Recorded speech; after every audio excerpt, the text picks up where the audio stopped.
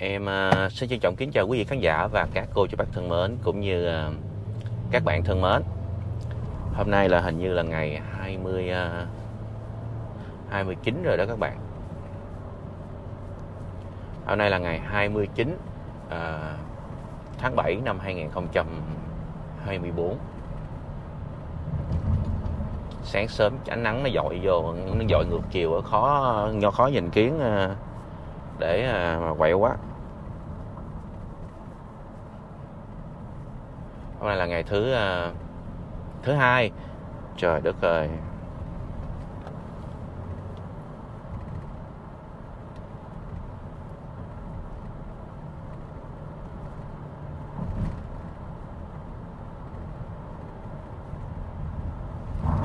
Hôm nay là ngày thứ uh, thứ hai rồi. Trời ơi chưa nhắc rồi.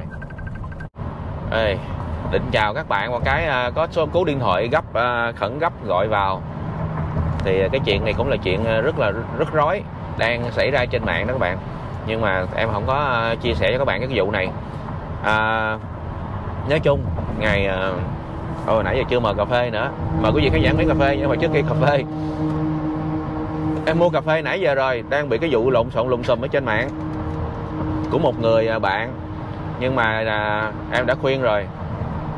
Em uống miếng nước cái nha các bạn.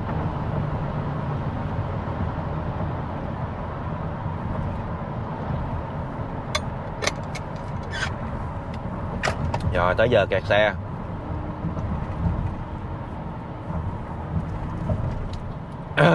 Ok mời quý vị khán giả miếng cà phê muối nha. Cà phê muối đây nè. À nó đã. Nó đã phải nói là nó đã. Đã dễ sợ luôn á. Ừ trời đất ơi. Sáng sớm á mình đi á là nó rất là kẹt xe. Buổi sáng đi lên á thì nó kẹt xe mà buổi chiều đi về á thì nó lại kẹt xe. Đó bây giờ này là dính chấu các bạn. Thì uh, có công việc đi á, thì mình bắt buộc mình phải đi thôi không, thôi là thua, ở nhà là cho nó khỏe trong cái giờ này. Nó kẹt xe từ khoảng chừng à, 6 giờ mấy, lên cho tới 9 giờ luôn mới đỡ hết các bạn. Kẹt xe 3 tiếng đồng hồ. Cà phê ngon quá.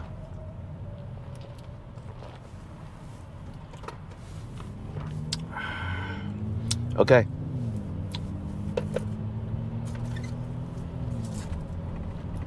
Thì uh, hôm qua em dẫn mấy đứa nhỏ đi uh, em muốn kể cho các bạn nghe một cái câu chuyện này. À, chuyện tâm linh mà có thật mà không biết là con người mình có ai dựa hay là không có ai dựa hay không mà mình không có biết rõ được mình chưa có hiểu được cái sự thật nó như thế nào. Nhưng có những cái động thái mà phải nói rằng á là không có khoa học nào mà giải thích được những cái động thái đó.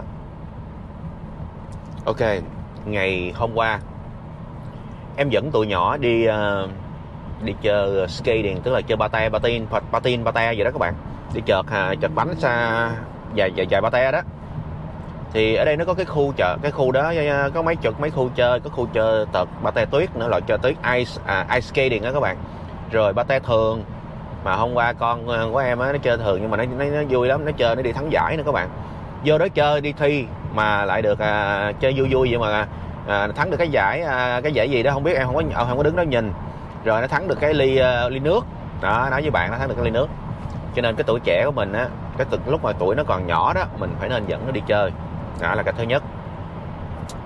Cái thứ hai là em thấy uh, à, em à, có đăng vài bài với vài clip em muốn dẫn bé mèo à, con có đức tiến đi chơi giống như à, em dẫn con của chị à, con của Wendy giống như cháu của chị Phi Nhung đi chơi vậy đó các bạn. Mình thấy bình thường mình thấy tội con bé thôi. Mình thấy như con bé trời đất ơi nó không có một mình nó à, tội quá mẹ thì lo đi làm. À, không biết có thời gian để dẫn nó đi đây đi chó không? Nếu như có dẫn đi đây đi đó là đã quay clip rồi.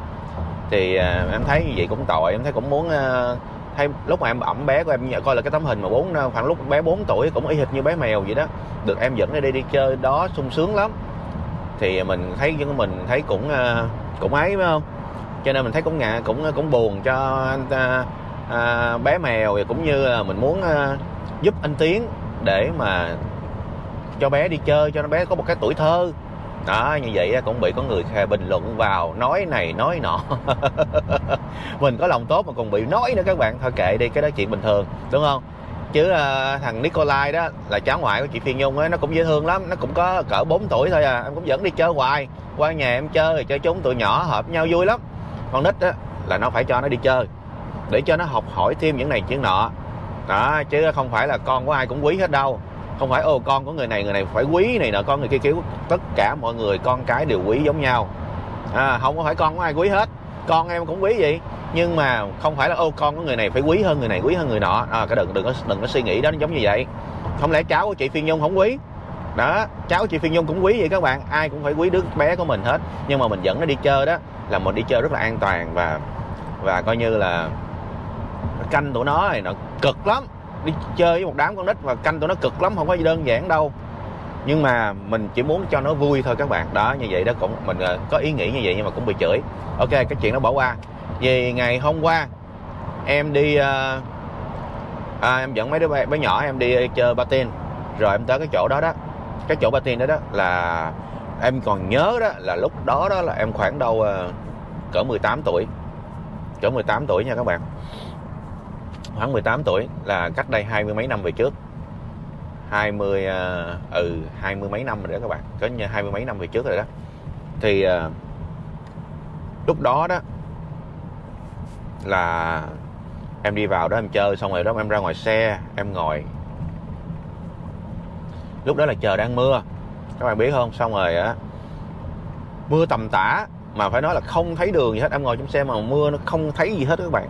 Mình khói à, hay là cái những cái hơ á, mà nó đập nó bám vô cái kiến nó đầy nghẹt hết nó dày nghẹt hết không có thấy đường. Thì lúc đó đó có một chiếc xe cứu quả nó chạy tới nó đậu trước uh, chiếc xe của em. Em đâu có thấy đâu. Mờ quá không thấy. Quẹt kiến á, là nó cũng không không không không được cái gì. Không có rõ. Rồi lúc đó đó là em uh, bắt đầu em uh, em đi ra em đi đó không? Em đi cũng em chạy. Đậu, đậu xe thì uh, em đổi số chạy mà. Nhưng mà lúc đó vô tình không hiểu tại sao. Cái chuyện này mới là ghê nè các bạn. Không hiểu tại sao. Cái tay của em á kéo cái uh, cái tay gà cái uh, vô số cái chỗ cái cái cây mà để mình vô số đó các bạn. Kéo lên kéo xuống cái này cho chiếc xe khỏi chạy nha. Lúc đó đó đáng lẽ ra đó là mình phải buông cái thắng ra buông cái thắng ra mình ờ, đạp, đạp mình vừa đạp ga nhẹ thôi mình giữ cái thắng để mà có gì mình thắng kịp đúng không? Mà lúc đó em đạp lộn đạp lộn qua cái ờ, cái ga đạp lộn qua cái ga. Tại lúc đó còn trẻ mới lái mà các bạn. Đạp lộn qua cái ga xong rồi tự nhiên cái tay ở đây nè mà chiếc xe cứu quả nó đậu trước nữa. Không phải xin lỗi nó đậu đằng sau tức là lúc đó mình ve đó lúc đó mình ve đó cho nên lúc mình quạt cái trước mình không thấy. Rồi mình tự nhiên cái tay này nè các bạn cầm kéo lên kéo xuống kéo lên kéo xuống. Đó kéo lên kéo xuống như vậy đó cho chiếc xe nó nó đứng. Cho chiếc xe nó đứng đó các bạn. Rồi không hiểu tại sao em em em em em, em làm cái chuyện đó nha mà cái cái mình á thì mình biết á là mình để số ve để cho mình đạp ga cho mình cho nó ve nhưng mà cái chân mình đạp tự nhiên đạp ga một cái nó hú lên. Và cái tay tay này tự nhiên cái cái, cái kéo lên cái xuống cho chiếc xe nó đứng đứng yên. Cái đó đó là nếu như mà mình không làm cái cái cái cái, cái tay lái kéo lên cái xuống á thì chắc chắn là mình sẽ tông chiếc xe cứu quả ở đằng sau chắc chắn là sẽ tông thôi các bạn. Tại vì mình đạp dây, mình dê ra mà. Thì, bỗng nhiên cái tay em kéo, rồi em mới thắc mắc, ủa sao kỳ vậy ta? Tại sao mình bị cái cái cái cái động thái đó, cái tình trạng đó mà mình kéo mình không biết luôn, giống như có một người nào đó nhập vô người mình để mà giúp đỡ mình kéo lên kéo xuống để cho mình thoát cái nạn đó các bạn. Ghê chưa? Thì cái đó đó là nếu như mà em dê ra là sẽ tông rất là mạnh. Tại vì lúc mới lái xe đó, đạp lộn hoài à hai lần đạp lộn, hai lần đạp lộn. Ga với thắng mà mình đạp lộn hoài nhiều khi mình phân, mình mới lái mình phân tâm, mình đâu có quen đâu các bạn. Phân tâm. Phân tâm thì cái bắt đầu cái ờ, nó làm cái rầm. Đó không? Nếu mình đạp lộn là nó làm nó làm cái rầm liền. Đạp lộn là nó làm cái rầm liền rồi các bạn. Cho nên, các bạn thấy đó, rằng á, là có những cái sự hiện diện của một cái à, những gì mà phải nói là mình không thấy được. Mình không thấy được những cái gì đó. Không biết có phải là như vậy không mình suy đoán vậy thôi. Chứ làm sao hay là cái con người của chúng ta nó có cái bản năng cái ờ, phải nói là cái bản năng mà đặc biệt gì đó mà mình không thể nào mình khám phá ra được mà tự động có cái gì đó nó trổ ra để cho mình kéo cái tay. Hay là có người khác nếu mình nói về ma đó thì hay là cái tâm linh đó thì có người khác nhập vô chuyển không không thôi trong người mình tự động có một cái khả năng người ta gọi là uh, công năng đặc dị đó. Cái khả năng này rất là hay mà mình không có biết được mình không có khám phá được mà tự động lâu lâu nó bộc phát bộc phát ra. Đó nhiều khi con người chúng ta nó có cái cái cái khả năng đó mà mình không có biết được các bạn. Thấy không? Hôm nay xe tải nhiều lắm các bạn. Em đi cái đường này đi ra ngoài bến à, bến cảng cho nên xe tải nhiều lắm. Đó mình có cái khả năng mình kéo gì đó mà không ngờ mà tự nhiên cái tay mình nó kéo nó kéo kéo kéo lên kéo xuống cho chiếc xe không chạy đó là cái thứ nhất. Là đã thoát nạn rồi. Thoát nạn được cái tên đẩy vô là cái số ờ, cái, cái chữ P tức là parking tức là đậu xe đó. Mình đẩy lên lên cái là chiếc xe mình nó đứng liền. Trời ơi cái cái xong rồi á ra cái quảng hồn luôn các bạn. Lúc đó là trời ơi mình mình mãi mình rung rung rung rung rung rung rung hết các bạn. Rung hết. Đó cái đó là cái chuyện thứ nhất. Không biết có ai à, đã trải qua những cái chuyện đó chưa? Trải qua những cái kinh nghiệm đó chưa? Nếu như có trải qua kinh nghiệm đó rồi bị những cái cái trường hợp đó thì hãy cho em biết. Rồi có nhiều trường hợp khác nữa.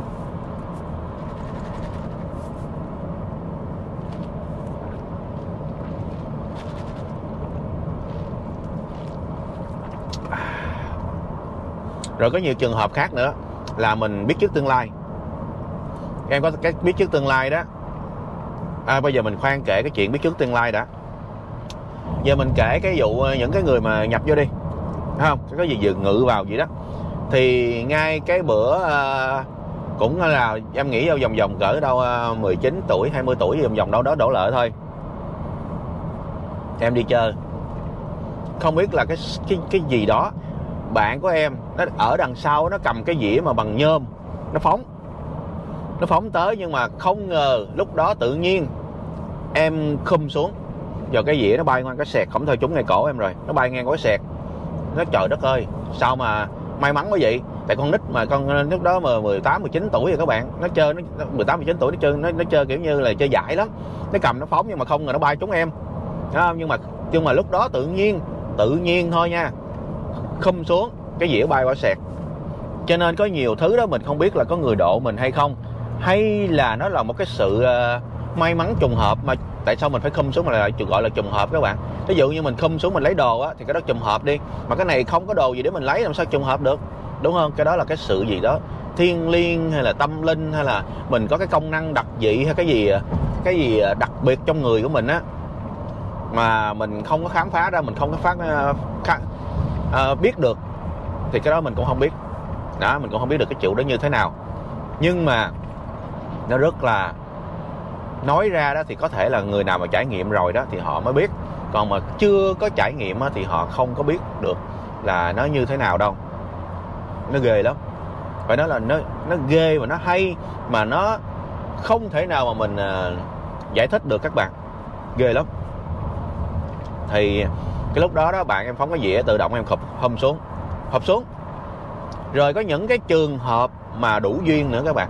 Những cái trường hợp mà kiếp nạn mình không thoát được ok. Có một kỳ uh, em uh, lái xe từ chợ abc lúc đó đó là em đi ra đường hướng bô sa phải không?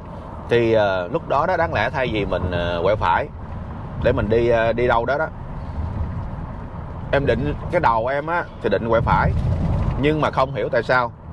Lúc đó em đổi hướng lại quẹo trái. Cái em quẹo trái cái đi về tới đường bích trong quẹo phải. Thì cái mình lúc mình chạy lên á vừa đúng lúc là chiếc xe kia nó chạy ra, nó tông mình cái dầm. Nếu như lúc đó đó mà mình quẹo phải về đường bô sa thì mình đâu bị tông xe. Tự nhiên mình quẹo trái à các bạn. Cho nên cũng có cái gì đó, đúng thời điểm, đúng khắc, đúng ngay lúc đó, đủ duyên lúc đó làm một cái rầm. Làm một cái rầm. Rồi. Xong. Các bạn thấy chưa? Nó lạ lắm. Có nhiều thứ trên đời này đây mình không bao giờ mà mình giải thích được mình không bao giờ mình hiểu được nó như thế nào. À em đang lên à, cái cầu này đẹp lắm nè các bạn. Em lâu lâu em đi ngang em quay cho các bạn xem nha. Bây giờ em sẽ cho các bạn xem nha. Đó cái cầu đó đó. Thì em cũng quay à, nhiều lần rồi. Đó bây giờ thì em sẽ cho các bạn xem tiếp. Cái cầu rất là đẹp thấy không? Đó đang uh, chuẩn bị qua đây. Đó đẹp chưa? Đây nè. Đó. Cái cầu này là cái cầu gọi là cầu uh, ủa cái cầu gì quên rồi ta? À, cái bridge gì đó. Còn mình đi thẳng tới nữa là tới là tới Thomas Bridge. Thomas Bridge đó các bạn. Còn cái này không phải Thomas Bridge. Cái này trước khi Thomas Bridge. À, rất là đẹp luôn thấy không?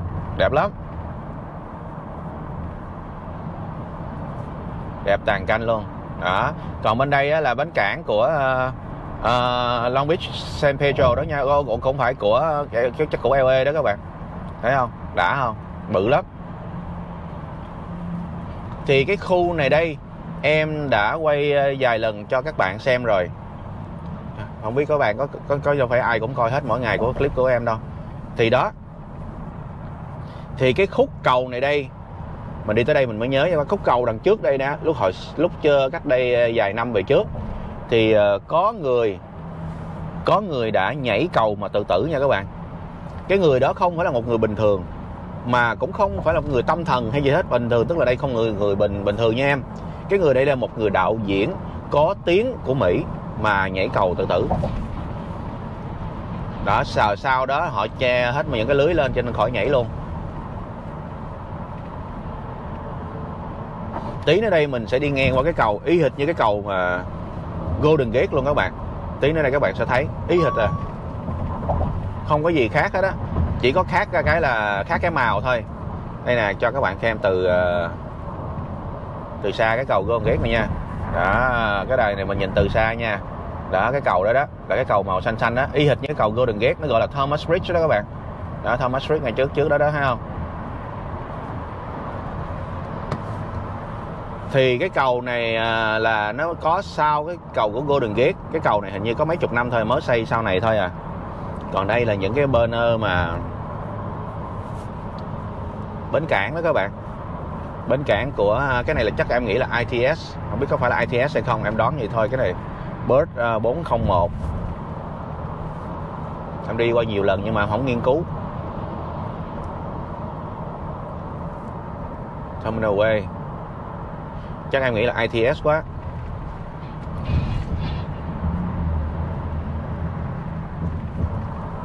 Đó. Thì bây giờ mình à, tí nữa mình sẽ tiếp tục cái chuyện tâm linh tiếp nha cái bây giờ em sẽ quay cái sẵn ở đây. Cái này cái cầu là Thomas uh, Vincent Thomas Bridge. Giờ sẵn ở đây á, thì em quay cho bạn xem cái uh, cái cầu luôn nha. Bây giờ mình uh, chuẩn bị uh, chuẩn bị lên cầu.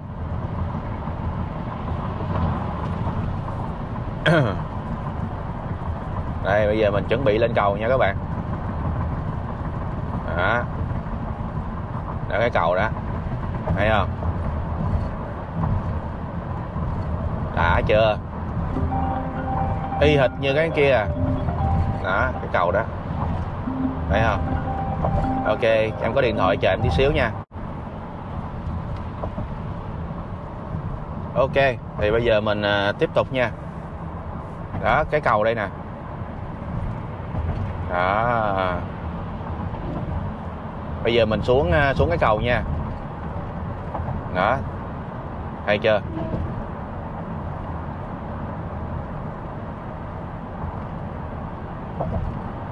Đó, cái cầu này y hệt như cái cầu của à, Golden Gate luôn. Nhưng mà Golden Gate thì nó màu à, màu màu màu giống như màu đỏ. Thì cái này thì nó, nó khác một chút nhưng mà nó lại ngắn hơn của Golden Gate Golden Gate thì băng qua biển, cái này cũng băng qua biển nhưng mà cái cái này cái giống cái rạch vậy đó. Thấy không?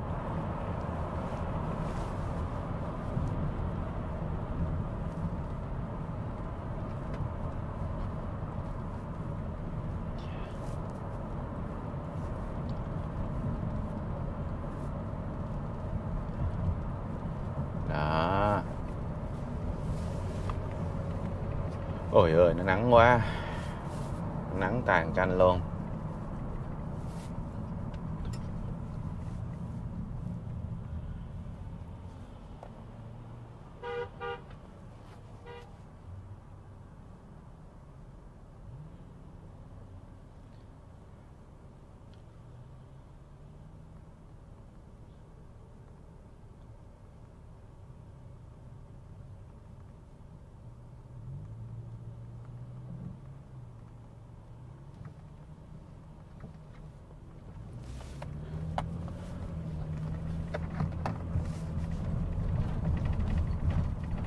Ui giời ơi. Bên đây á, là một cái à, bến cảng của những cái chiếc mà du thuyền. Du thuyền đó các bạn. Cho nên mình à, đậu đây mình chờ. Để à, bà chị bà ra xong rồi mình mới chạy vô mình đón.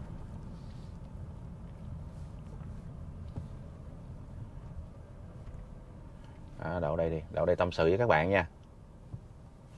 Đậu bây giờ mình kể những cái chuyện mà tâm linh cho các bạn nghe.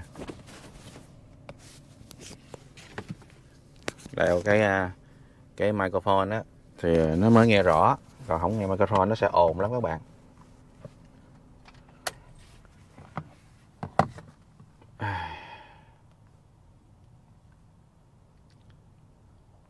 Hôm nay đủ thứ ờ, đủ thứ chuyện mà xảy ra hết, phải không?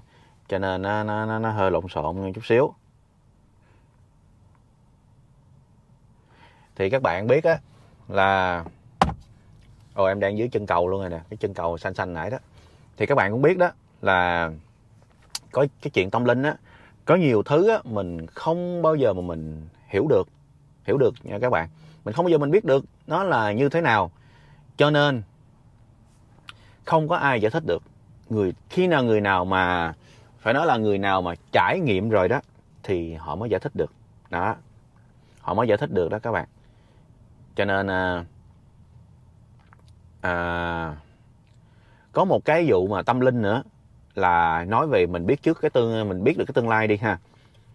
Thì cách đây hơn nhiều năm chắc cỡ độ cũng cỡ đâu à, chắc cũng cỡ 20 năm về trước đó các bạn. Em có thể làm kể cho các bạn nghe rồi nhưng mà có thể các bạn có nhiều bạn chưa có nghe. Hồi đó đó là em có một cái sự huyền bí về tâm linh. Khi mà mình khấn cái gì đó hay là tự động cái người của mình nó nó hiện lên là mình biết được cái chuyện nó sẽ xảy ra. Chẳng hạn như bây giờ mình đi cái trên đường đó, mình sẽ biết mình gặp nạn. Mình có cảm giác rằng mình sẽ gặp nạn, các bạn tin hay không? Các bạn tin hay không? Có cảm giác rằng sẽ gặp nạn. Cho nên cái lúc mà hồi nãy em kể cho các bạn nghe, lúc mà em quẹo trái đường bô xa đó làm thấy cũng lạ lạ rồi, nhưng mình thấy không không có ổn rồi. Nhưng mà mình cũng không có tin vào cái à, cái trực giác của mình không có tin vào cái à, cái huyền bí cái tâm linh của mình. Thì cái mình cứ đi cứ đi như vậy rồi cuối cùng làm cái rầm đó thấy không? Rồi cái tâm linh thứ hai. Lúc đó là năm vào năm 2005 06 gì đó vòng vòng đâu đó. Thì em đi làm cho công ty uh, gọi là công ty UPS công ty UPS đó các bạn là một công ty ờ, vận chuyển lớn của ờ, của Mỹ. Thì lúc đó đó là tới giờ đi ăn trưa. Thì đang trưa người Mỹ với nhau á, thì hay ngồi đi chung xe đi gọi là carpool để mình có cái ờ, cái chỗ đậu xe cho nó dễ chứ mỗi người đi chiếc tới đó nhiều lỡ như đông quá không có chỗ đậu. Cho nên đi cơm với nhau bốn người trong xe. Thì lúc đó có cái cô làm chung cổ lái cổ lái thì lúc đó vừa xuống cái uh, exit cái freeway tức là mình exit cái đường đó để mình đi tới cái chỗ chỗ này ăn đó thì rõ ràng cái đèn đằng trước đó là đèn nó xanh nó đang xanh. Tự nhiên cái miệng em ngồi ở sau ghế nó ghế này nè xe xe nhỏ có bốn bốn chỗ ngồi các bạn em ngồi ở sau nè em la lên nói đèn đỏ kia cái xong rồi cái cô tài xế đó cô quản hồn quá cái cô lái xe đó cô quản hồn có đạp thắng. Nhưng mà thực sự nó đèn xanh mà tự nhiên em nói đèn đỏ. Nhưng mà nhờ cổ đạp thắng như vậy đó giờ chiếc xe kia nó chạy ngang qua cái xèo nó giật đèn đỏ, nó giật đèn đó các bạn. Trời ơi, lúc đó mà trong bốn người thoát chết hết, ai cũng nó chết cha sao cái gì mà lạ kỳ vậy? Tự nhiên đèn xanh mà thằng này nó kêu bằng đèn đỏ. Ai cũng cảm ơn hết, ai cũng tan kiều em hết. Đó, cái đó là mình thoát chết đó các bạn.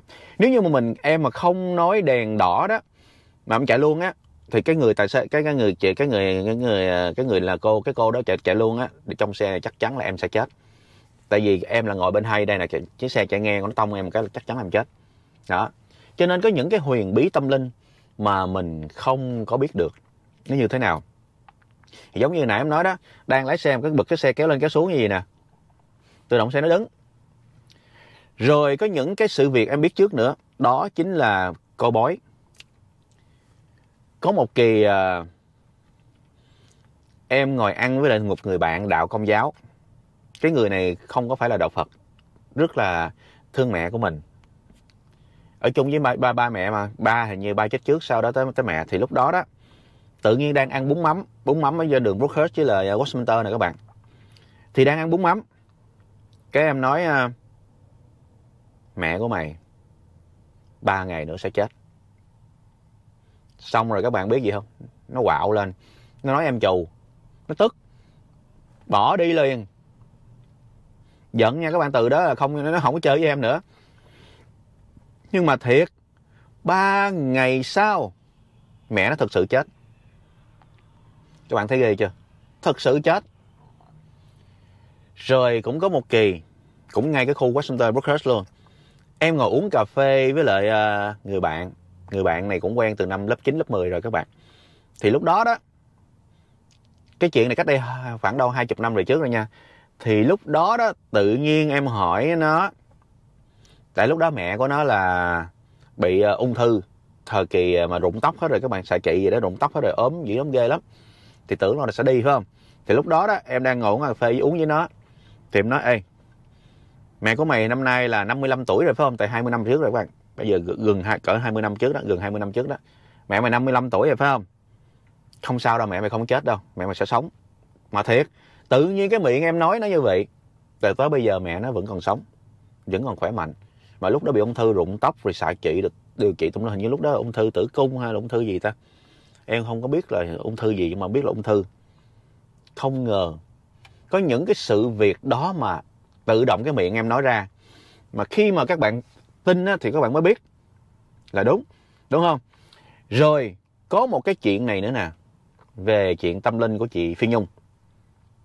Chị Phi Nhung nha lúc mà em đi với anh ờ, Nhật Cường đó các bạn đây cái chìa khóa này nè. Em kể cho bạn nghe. Nó chắc cỡ nào. Gịch nó không có ra. Mà lúc mà em đi với anh Nhật Cường đó tới bàn thờ của chị Phi Nhung á em mới khấn. Em khấn mà khấn trong đầu á chị Nhung chị có chuyện gì hay không? Chị có quan ức hay là chị có, có cái gì hay không? Nhắn nhủ cho em biết cho em biết đi. Hay là có cần em giúp cái gì vậy đó? Nhắn nhủ em biết. Tự động cái chìa khóa này nè. Đang đeo trong người nó rớt xuống cái bụp cái cái chồng đen này nè các bạn, cái đen này nè, nó rớt xuống cái bụp. Lúc đó anh Nhật Cường nó nhìn. Ủa, anh Cường, cái chìa khóa của em chắc như vậy làm sao mà nó rớt ra được? Làm sao nó rớt ra được? Cái anh Cường mới nói, hỏi Nhung đi. Em còn, các bạn coi qua cái đoạn đó đó thì các bạn mới thấy. Đúng không? Cái lời chuyện chuyện tâm linh. Chị tâm linh mới đây nhất nữa nè. Cháu của chị Phi Nhung mới vừa sanh ra cháu gái đó. Thì lúc đó đó, em tới cái bàn thờ đúng ngay hình như là 11 45 hay 12 giờ 45 ta? Hình như 12 giờ 45 là bé sanh ra bữa trưa vào tháng à, tháng à, 8 tây tháng 3 đó các bạn. Thì lúc đó đúng ngay cái giờ đó đó là 12 giờ 44 phút. Em chụp tấm hình trước bàn thờ chị Phi Nhung. Vừa đúng lúc là bé bên à, bé con à, bé Madeline sanh ra đời luôn. Rồi rồi lúc đó đó thơm mới gỡ cho em tấm hình bé ra đời. Em hỏi ủa chị ra đời lúc à, bao nhiêu mấy giờ? Thơm nhắn là 12 giờ 45 em nhổi da gà liền. Tại sao mà đúng lúc đến như vậy? Trùng hợp đến như vậy, em chụp tấm hình, em có chụp tấm hình 12 44 phút á, em gỡ qua cho thơm liền. Thơm coi cái thơm quảng hồn luôn. Tức là chồng của chồng Wendy để mà coi quảng hồn luôn. Cho nên có nhiều chuyện tâm linh mình không thể nào mình biết được. Nếu như thế nào? Không có ai có thể mà giải thích được. Có nhiều sự nó rất là trùng hợp. Nó rất là huyền bí huyền bí lắm. Nên ờ, không có ai hiểu rõ được sự việc đâu các bạn. Thôi em cũng phải ờ, đi vô trong à, sắp sửa vô trong để mà đón ờ, một người một người chị đi đi tàu về nè các bạn. À, em sẽ chuẩn bị chạy vô trong xong rồi hôm nay em sẽ dẫn mấy đứa nhỏ đi chơi tiếp tục. À, chúc các bạn thật là một ngày vui vẻ. Kỳ sam sẽ tiếp tục câu chuyện nha các bạn. Hôm nay thì nó hơi lộn xộn một chút thì sam sẽ tiếp tục câu chuyện cho các bạn nghe. À, các bạn nhớ đấm bấm like bấm share và đặc biệt nhớ là đăng ký để ủng hộ em nha em xin chúc các bạn một ngày thật là an lành và hạnh phúc. Bây giờ em phải cho, chuẩn bị ờ, xong hết em phải tháo máy rồi đang cho đi đi đi vô trong đây. Xin hẹn các bạn vào ngày mai nha nhớ đăng ký ủng hộ nha. Bye bye.